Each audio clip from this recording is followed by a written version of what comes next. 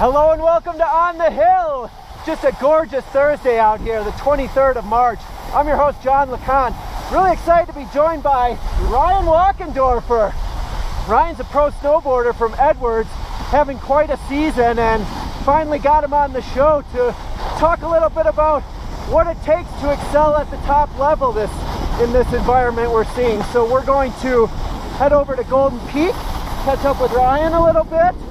You'll get to you'll get to actually see him without the the mask on and uh, and and meet this local boy from Edwards. So Ryan, start us off.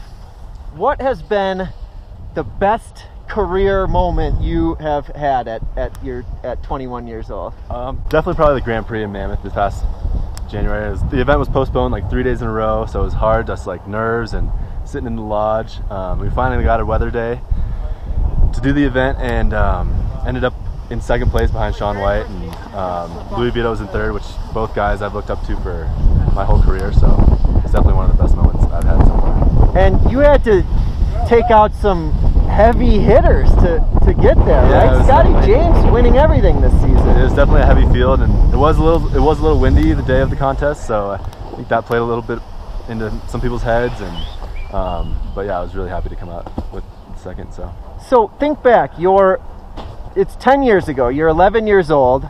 You're living in Edwards. Yep. Your dad's driving you to every comp on Oh, the yeah. weekends, and you're watching Shaun White and Louis Vito on TV. Just a little kid. yeah, yeah, looking up to those guys, and you know, I never thought I'd be on the podium with them, but it was it was a good feeling. So Yeah, that's it.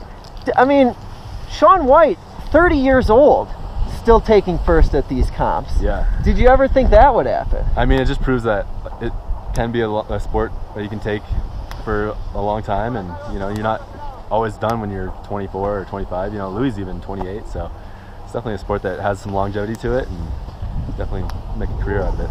Yeah, and you're noticing that too. That takes a little grown man strength in there. Like you're getting better as you're getting older and stronger. For sure, you know, growing into your body, you know, you get go through your teenager, you get taller and stuff, and it's hard to, you know, you're kind of lanky and got to get used to your whole body and um, being stronger and just, you know, going to the gym more, working on the tramps and doing dry land over the summer really plays a huge part to how your winter goes and how successful your season can be. So So now, flash forward another 10 years.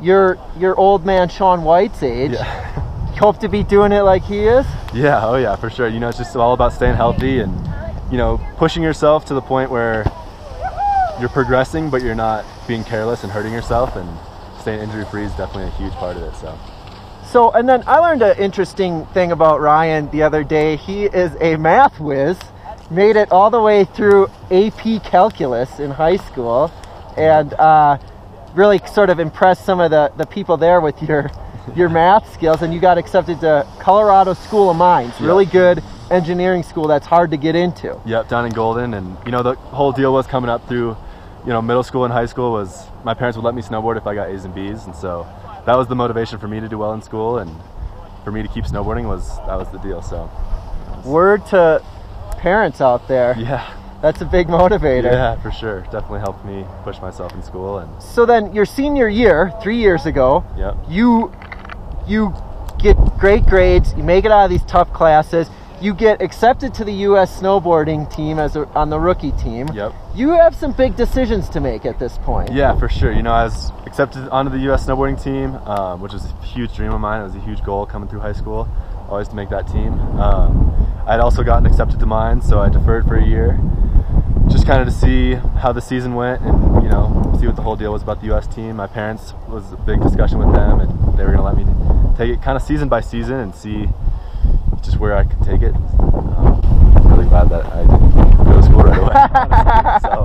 So, yeah. That option's still out there for Still you. off, yeah. You can always go to school. And you. You're taking some classes at at uh, Westminster, Yeah. where, where all the uh, athletes go. in this Westminster and area. Salt Lake, yeah. Taking some, just trying to take, you know, get general classes out of the way and go, just keep keep staying in it. You so. taking any math classes right now? No, I'm not actually. taking Didn't need to, huh? Yeah.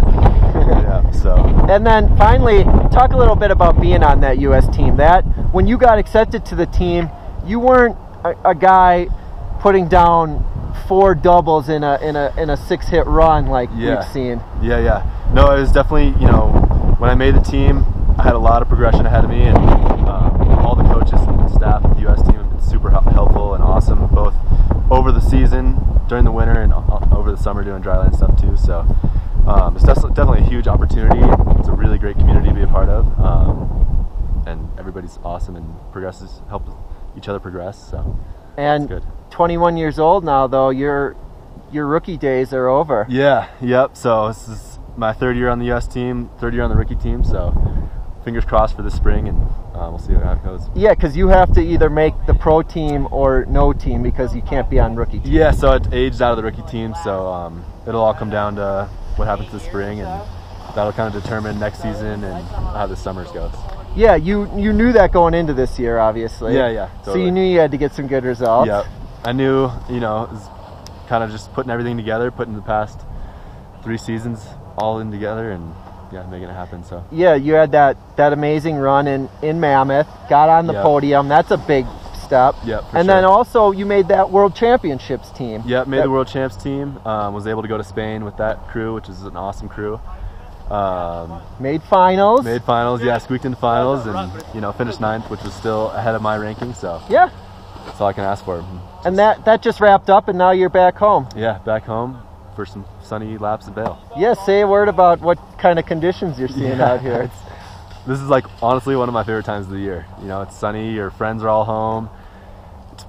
It's, super warm and the park's awesome. So yeah, this mountain still has a good base going. Oh, totally. Yeah, I mean you can ride the whole mountain. I think. A, a week of 70 degree temperatures, and we're yeah. still uh, seeing, that seeing plenty lot. of snow. Yeah, that says a lot about the amount of snow we've gotten this year. So yeah, cool, Ryan. Hey, man. Yeah. Well Thanks for joining us of on course. On the Hill, and thanks to you, the viewer, for tuning into another episode. Yeah. For now, John LaConte and Edwards resident Ryan Wachendorfer signing off, and we'll see you tomorrow.